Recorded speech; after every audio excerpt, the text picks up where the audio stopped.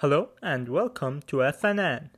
With all the talks recently regarding critical race theory and a push from the left to have it be mandatory teaching in schools, I figured why don't we take a look at CRT in action at a university. So please enjoy the following video of a Penn State uni professor picking out white students and explaining why their skin color gives them an advantage over minorities. And what that means is the following. I just take the average white guy in class, whoever it is. It doesn't really matter, dude. Dude, this guy right here. Dude, look, uh, stand up, bro. Th- What's your name, bro? Like you- Russell. Russell. This look at Russell here. Russell has Sean. This is the, I'm making your argument for you, right? Look at Russell right here. Just doesn't matter what he does.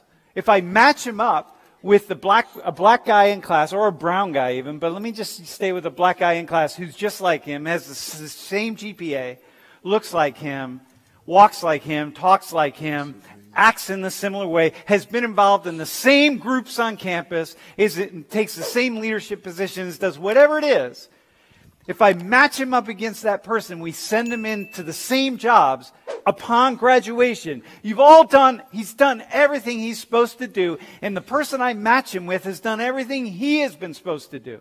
He's supposed to do at Penn State, right? They tell you, right? They, do, do it, man. Go see your advisors and go do this and go do internships and do, and if you did this, if Russell did the same things, it's just the next person, somebody else I find in this classroom, and they go through four years here exactly together.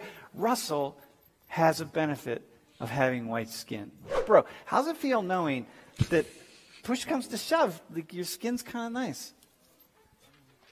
I don't know. I mean, it makes me feel like sad because, like, God knows I don't deserve it. You know what I mean? Like, I didn't choose to be white, so like, you know what I mean? Like, I, like, it makes me upset that, like, you know, my brothers and sisters of like other races can't like experience those things for something that I didn't like.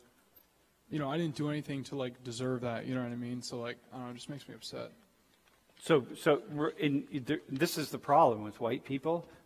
The question then becomes is what should we do? So there are all sorts of white people sitting, Sean, there are all sorts of white people sitting out here in the class right now saying, What's so good, what Joe?" should I do? The classic American success idea here is Mm. that they're going to be treated equal. In the United States, if you work hard, you go to Penn State, you, you g- get good grades, you get your degree, you do what you have to do, you dress decently, you speak decently, you do all the things you're supposed to do decently, you're going to be treated the same. That's, that's the American dream here. Okay? And that's why I'm asking like for a more for more of a background because you just explained a whole bunch of different privileged kind of backgrounds in one. Yeah. So I'm asking like where they're coming from, like what their experiences are, and like what they're applying Yeah, for. but, too, yeah, at but that time. doesn't matter here, dude. Right now, we're going, we're, this is an experiment. This is a research project, okay? And, and I'm telling you how it worked out.